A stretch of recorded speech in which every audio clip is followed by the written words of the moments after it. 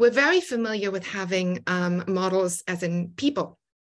Um, and models populate the entirety of the Mao era and after, of course, and they're so important to the way uh, Maoism works and to the way people experienced um, everyday life in Mao's China, being told, well, there are these models who have done this and this, and this is what you can emulate, and this is what the future could look like if we have more of these models and if people um, get inspired by these models. Um, and I was struck by the fact that there um, are objects that can work this way, but also materials.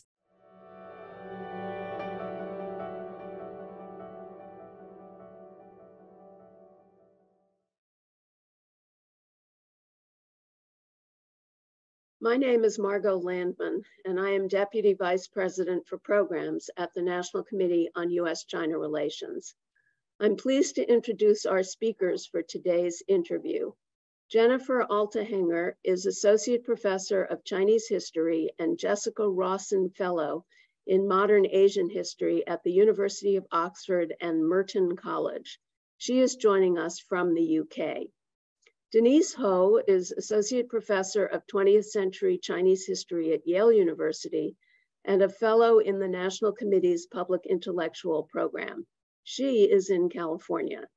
Denise and Jen are the co-editors of Material Contradictions in Mao China, which has Mao's China, which has just been published by the University of Washington Press. In fact, I believe that this is the very first event on the new book. We are delighted by that fact. We're also delighted that Phil Tinari, director of UCCA Center for Contemporary Art, chief executive of UCCA Group, and also a Public Intellectuals Program Fellow, is joining us from Beijing and will moderate today's interview. Phil, over to you. Thank you so much. It's uh, such an honor and a pleasure to be here with Jennifer and Denise on the occasion of the publication of this really impressive and fascinating volume, Material Contradictions in Mao's China. And since we don't have so much time, I think we'll we'll we'll get right into it. Um, I'd like to start by asking Denise just to tell us a bit about the story of this book and how it came together. Um, I think one of the one of the really interesting things about it is the way it brings together a group of scholars who share a set of concerns and I know that that's happened over this period. Uh, it's been a special period the last few years um, through, through the pandemic and such. Uh, could you just tell us about about your editorial journey and about the the kind of scholarly position that you and this group of, of writers represent?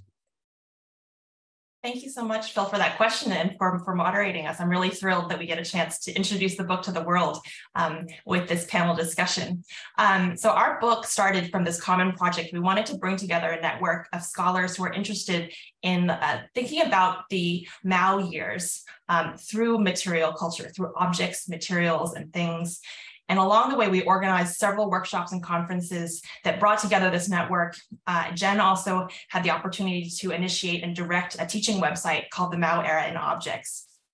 And our goal, as you mentioned, was not just to bring together historians, the two of us teach um, and study modern Chinese history, but to bring together people who were ethnographers, people who were interested in art and architecture, cinema and film, and bring all of these people together to have this conversation. Um, some of the examples, and you'll see this through our in our books table of contents, um, include things like everyday objects, food and clothing, um, objects related to design, uh, building, production, things like bamboo, bricks, handicrafts, and even cars.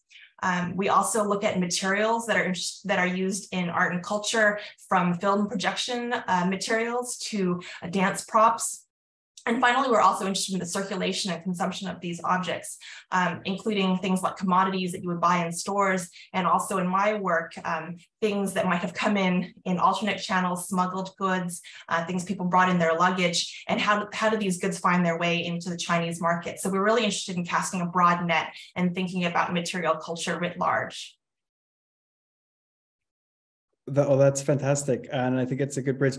Um, I, would love to ask Jen just a bit about uh, the intended audience for the book, but also um, where it fits in kind of larger trends in in historiography today. I mean, in terms especially of this uh, focus on materiality and the idea of looking at, at objects as a way into larger uh, questions. Yeah, thank you for the question, Phil. And uh, thank you also for me for uh, hosting us and um, for giving us this opportunity. I'm absolutely amazed we're all sort of, we're spanning half the world at this point in uh, terms of timing. Uh, so this is wonderful that this worked out. Um, so I think at the beginning, when Denise and I were thinking about how to put this project together, one of the things we were most interested in is um, well, for one, bringing us together as historians and uh, anthropologists and cultural studies scholars and others working on uh, material culture in all its facets, but then also to have this conversation, which all of us independently were having um, with colleagues in those fields who work on other uh, countries and on other cultures um, and on other regions. Um, and we found that when it came to China, very often um, there was great amount of interest in material culture of modern and contemporary China of the Mao period. Um, but very often people didn't feel like they had a, you know, a volume to which they could go and get a first idea of just the diversity of ways of thinking about material culture in Mao's China. Um, now, uh, the other thing that that came from that is that we realized there's this wonderful research being done by lots of people, and we wanted to give um, a few of us a chance to really show this as an edited volume rather than as monographs, because very often edited volumes can really speak um, for this diversity, can really show something that a monograph and articles on their own cannot. Um, so it was wonderful to do this as a project and as a group. And as Denise said, in the course of those conferences, we really got to know each other and talk across disciplines. And I think and hope that the volume really shows this. Um, and so some of the fields to which we were trying to speak was, of course, uh, global and world history, the history of material culture, um, the anthropology of material culture, because materiality and material culture are such prominent topics for anthropologists and cultural studies scholars, um, and really anyone working on the post-war world um, where those themes of, you know, what did people actually have, what sort of consumer cultures grew, how did consumption um, and material culture look like in state socialist countries across um, Eastern Europe, the Soviet Union, Asia, and other places. Um, so we were trying to say, you know, here's here we present here the case of China, um, in an attempt to show how it does and does not at times um, match up. And um, some of the specialties we thought we were seeing, some of the unique points we thought we were seeing in the case of China. And one of them, just to draw this out, is so as you said, we have material culture, which we take to be objects, and um, really the entirety of how objects are made, what they're made of, how they're used, how they're um, uh, how they how we see them in everyday life um, but then also materiality, which we understood simply to be, you know, the interconnection of objects, people, things, bodies, um, and humans. Um, and that in particular in uh, the case of uh, state socialism is a really, really interesting thing that's also theorized at the level actually of uh, theory and uh, ideology. Um, so humans and things really matter, in other words, to Marxist and Maoist thinking. Right. This, uh, there's this line in the introduction that while the average Chinese person may not have described their environment in materialist terms, these ideas were foundational to the political, social, economic, cultural world that they lived in. And I think that's something that really comes through um, in each of the perspectives offered. I wanted to turn for, to a second uh, for a second to this question of or this framework of contradictions, uh, which which appears in the title and is of course a word that you know anyone who's familiar with Mao's China knows from from the famous essay on contradictions. Um, there's another line in, in the introduction that talks about um, uh, excuse me about um, tensions between materials and makers, people and objects, abundance and scarcity, ideology and practice. Um, but I, I, guess uh, for the both of you, but maybe for Denise first, how did this framework of, of contradictions emerge as the way to to to draw all these perspectives together and and and why is it uh, so convincing Thanks for asking that question, Phil. So uh, we, when we started out, uh, the first conference was called Material Culture, not Material Contradictions, and it actually came out through the presentation and discussion of uh, the contributors' papers. Um, that we came up with the idea of contradictions. Uh, as you mentioned, um, there are some contradictions and some tensions that uh, that came out that uh, we think about when we think about China uh, in this period, uh, the difference between city and countryside, uh, between plenty and scarcity, between desire and reality. There are also a number of contradictions that came out that uh, wouldn't be as immediately obvious. That is between China's past and its present, between the present and the future, uh, between China and the world. Uh, and so we were, as a group, collectively struck by the number of contradictions that came out through the study of material culture. Uh, so I think in terms of the word contradiction, we mean it in two ways. The first is to think about historical contradictions, that is the actual tensions that existed in that period. And then the second is, as you say, uh, to think about uh, contradictions as uh, something that's productive, a dialectic that when you think about uh, tensions between, say, uh, desire and reality, it teaches us something new about uh, the Mao era and about the Chinese experience. So, in the second sense, contradictions is an analytical category, something that produces something else. That's lovely, um, and it, it brings brings us to to to Jen, and I wanted to to talk. Uh, so so so so so Jen's chapter is called. Um, bamboo objects in socialist construction. And she looks at how at bamboo as what she calls a hinge material, what you call a hinge material um, that, that connects past, present, and future. But um, there's this a lovely moment in your in your chapter where you talk about how the, the stories about these uh, key bamboo crafts experts that you that that you research um, are able to narrativize how Chinese socialism facilitated novel modes of production that maximized the abilities of people and materials, fostered skills, and created as well as disseminated technical and design knowledge. Um, that's a, that's an awful lot to, to for a piece of bamboo or a, a, set of practices around bamboo to be able to do. And I think it's a illustrative of, of, of what most or all of the scholars in, in the book do, uh, and that's to draw uh, larger truths from from a specific um, object or or or set of practices. Um, I I'd love to just hear a bit about how um, I, how you came to that topic and and what and you know what's what specifically um, uh, it, it it can tell us about the period. Yeah, thank you for that question, Phil. Um, as we come to topics, it's always uh, I think it's always a curious road and when you trace it later on you're wondering how exactly did i come up with this? And um, but in my case i think it's uh, well it's connected to a larger book project. I'm currently working on a book about uh, furnishing socialist china the history of furniture and furnishings. Um, and i start with materials and the obvious one of course is wood. Um, but then bamboo is the other very prominent material in uh, my documents and in the stories i trace and something that struck me is that we're very familiar with having um, models as in people. Um, and models populate the entirety of the Mao era and after, of course, and they're so important to the way uh, Maoism works and to the way people experienced um, everyday life in Mao's China, being told, well, there are these models who have done this and this, and this is what you can emulate, and this is what the future could look like if we have more of these models and if people um, get inspired by these models. Um, and I was struck by the fact that there um, are objects that can work this way, but also materials. Um, so if you think about steel, for instance, steel very much is a material that has become associated um, in, in very different ways. Um, so not obviously not just positive um, ways with uh, the, the way in which the Mao era is narrated and with the way in which the Mao era was experienced.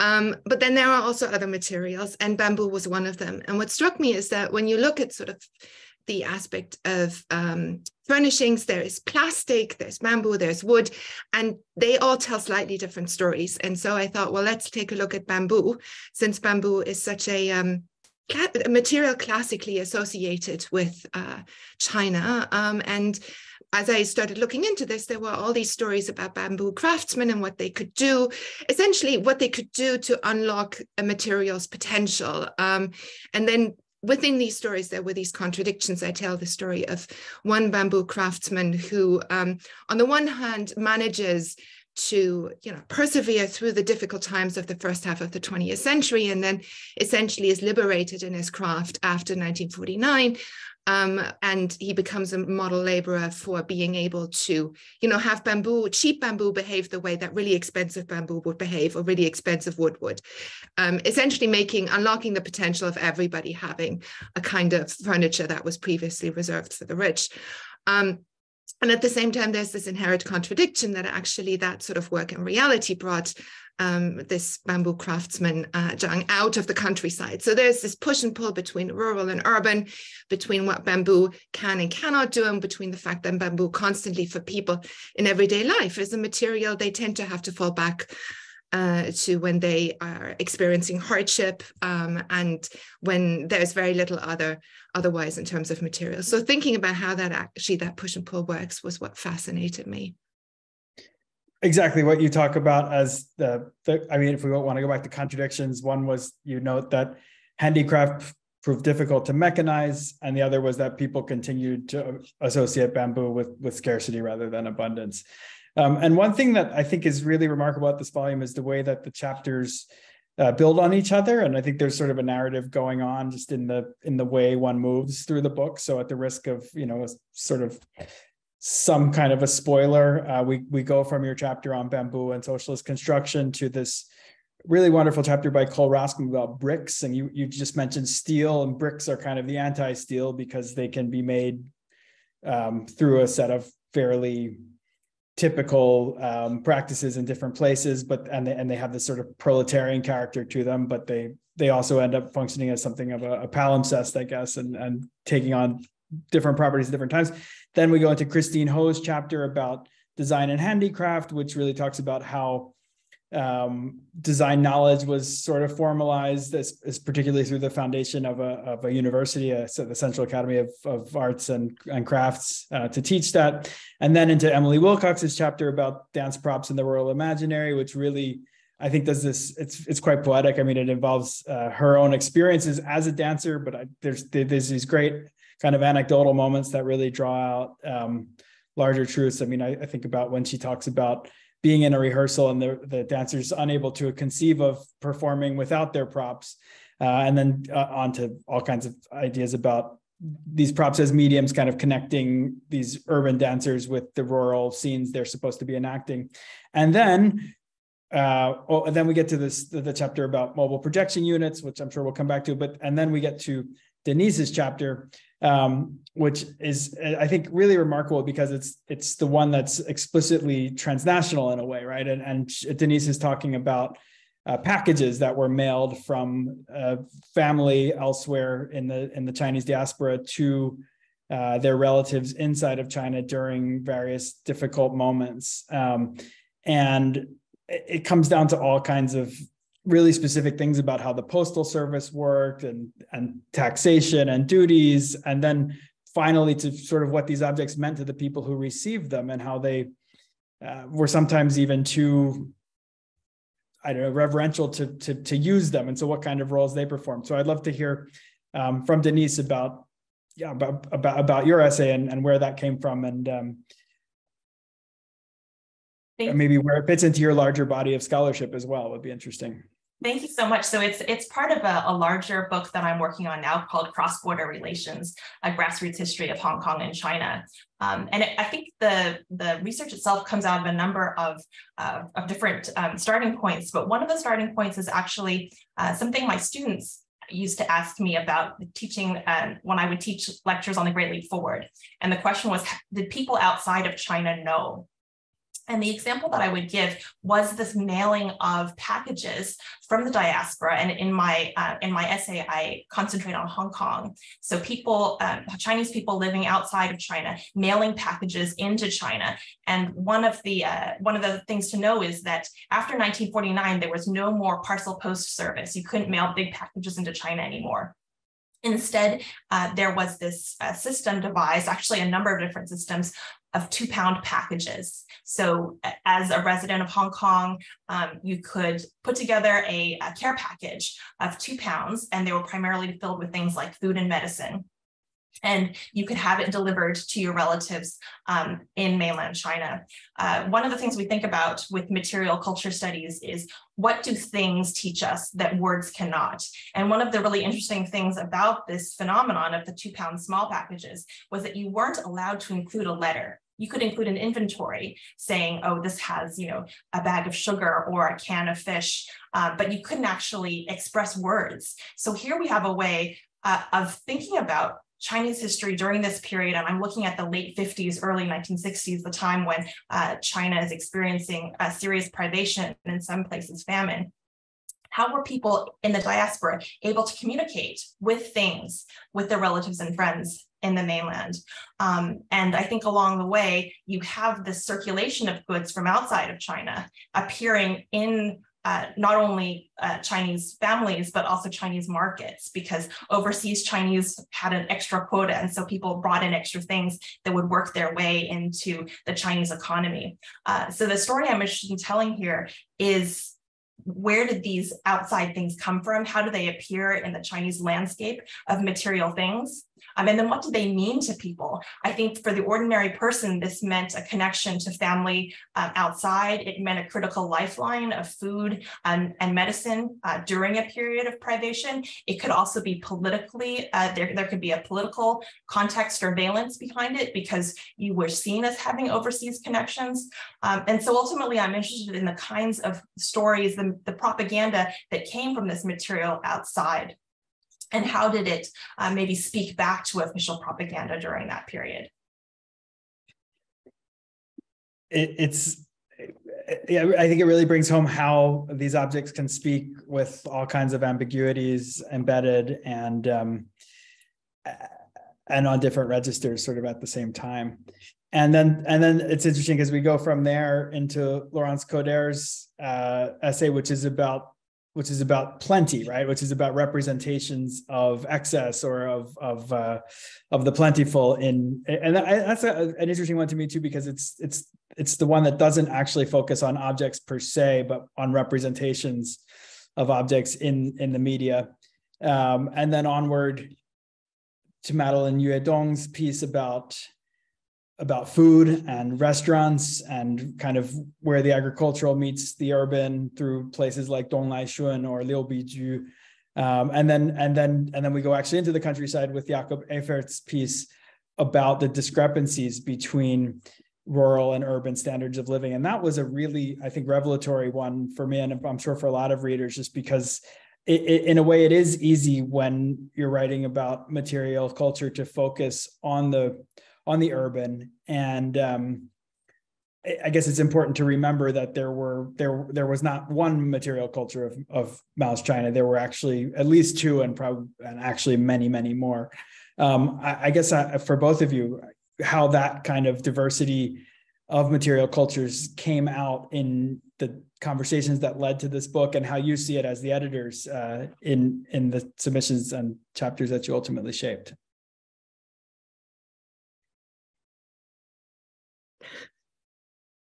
I, can take a first uh, first answer at that. Thank you for bringing up this question of diversity because um, I I was thinking about this as well in terms of the main takeaways of the book that um, I learned so much about different parts of China and especially um, about uh, things that are the, the, countryside, which is not something I've historically focused on. Um, I mean, the level of scarcity uh, that's evident in uh, Jakob's study of of cotton in, in the rural countryside, uh, the fact that an ordinary person's uh, ration wasn't enough even to make a suit of clothing.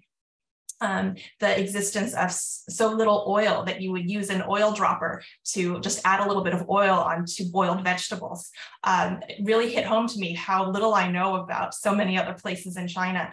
Uh, I think that we have this um, diverse experience that comes out not only in that chapter, but let's say the chapter about the third front. How do we have this exist, this creation of um, a, a, unit um, in the rural countryside that has aspects of the urban and aspects of the rural, and how do these people travel between um, the the urban and the rural in the process of participating in a third front project? Um, so I, I, think that it really hit home to me um, many aspects of China's diversity in this period And I also wanted to bring out um, the aspect of the political campaign. Um, so what I think that this volume does is it brings out how ordinary people um, experienced campaigns through material culture. Uh, the example of the Beijing food production um, is, is, is, a good one here in Madeleine Dong's contribution. Um, and in this case, the campaign is the socialist transformation. So the nationalization of, of businesses uh, like a pickle company um, or a hot pot restaurant.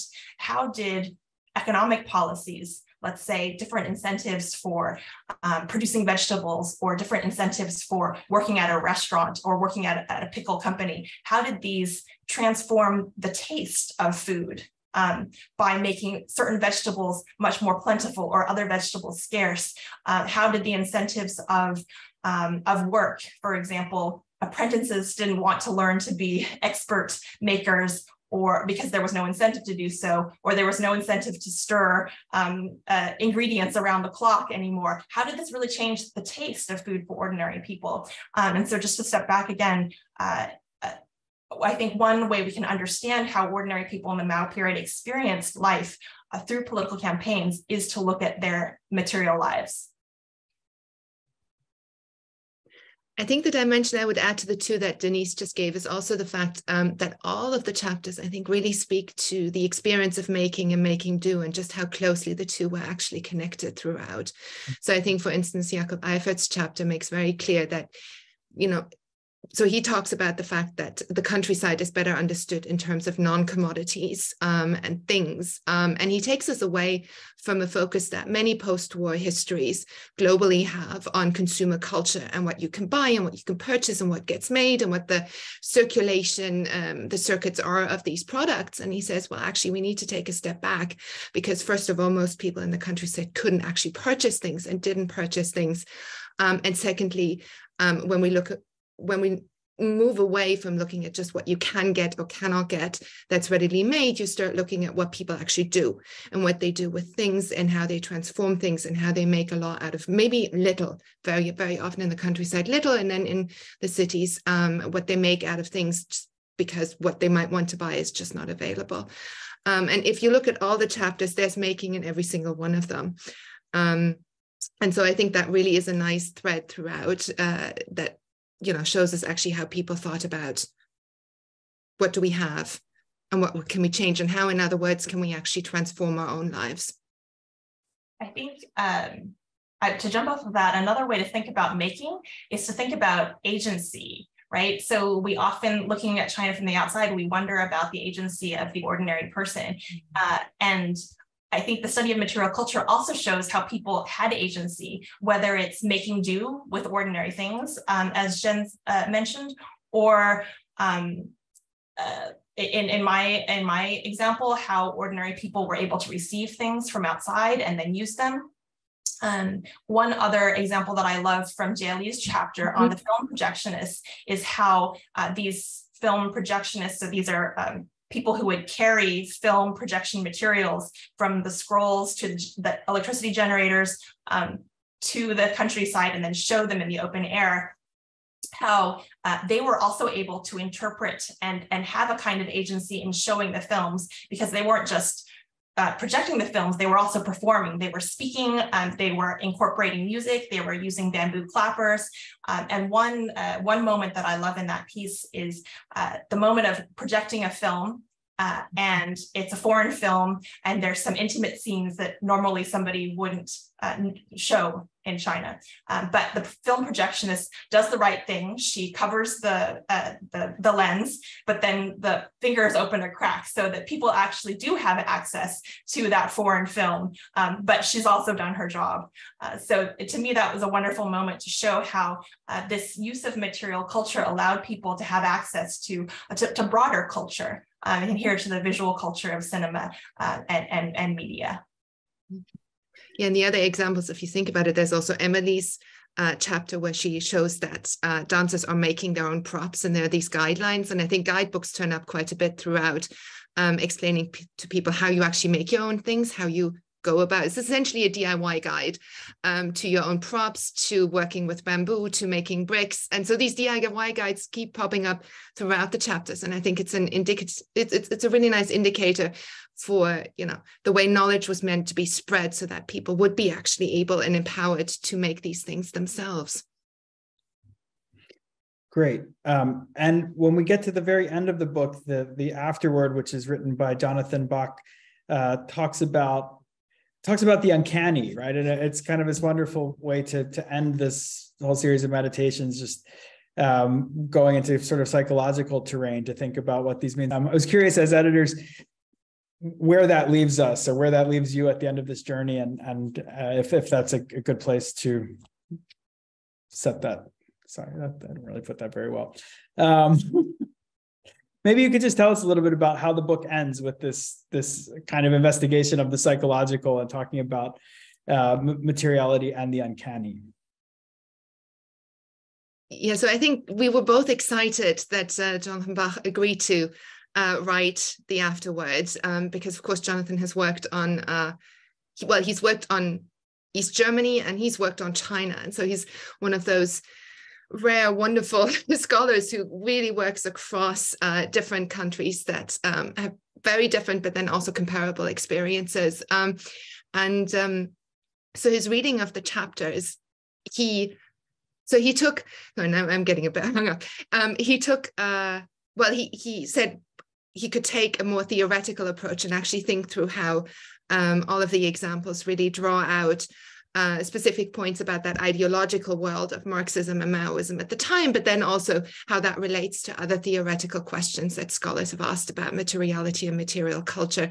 Um, and this is where the uncanny came in. Um, and in terms of, you know, where, where does this leave us at the end of the volume? Um, I think this brings us back to something we were talking about at the beginning. It leaves us first of all, with a much more complex picture of material culture materiality than I think we had um, in earlier years, um, hopefully a contribution that really um, shows just how many facets of material culture there were in the Mao period, often a period thought of as having little material culture to speak of. Um, and I think one of the points the introduction makes is that just because you don't have a lot of things doesn't mean there's not a lot of material culture. Um, and also it helps us to think about, you know, where, where do we really go from here um, in the post 78 uh, period in the reform era. You know, what actually happens when we suddenly have an explosion of material culture for many people, um, and how do um, how do these three decades um, since the 1950s how are they remembered? How are they understood? Is there nostalgia for certain items? Is there not? Um, and how do actually things play a role in how the Mao era is remembered? I think that's a wonderful place to leave us, uh, reminding us, uh, as you as you both said so eloquently at the beginning, how people attributed great meaning to materials and objects precisely because they were rare and difficult to obtain. And I think through this book, we all uh, come to just a much a much more interesting, nuanced, um, gritty, uh, particular understanding of of what daily life might have been like and how that related to the way people understood themselves and their place in this society in this historical moment. So thank you so much. It's been a pleasure talking with both of you, and um, I hope lots of people are able to to read and learn from this book. Thank you so much, Phil, and thank you to the National Committee. Thank all three of you.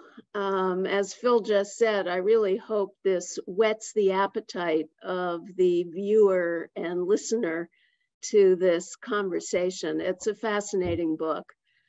I'd also like to thank the National Committee staff members behind the scenes who've made today's interview possible. We hope those who have tuned in found the interview interesting and informative and that you will join us for future National Committee programming. Thanks again and goodbye.